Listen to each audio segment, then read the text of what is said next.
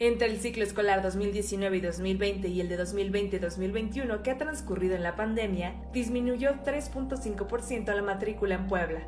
El mayor número recayó en las instituciones privadas, donde dejaron de asistir más de 32.000 alumnos que cursaban el grado básico. Esto según cifras de la Secretaría de Educación Pública Federal.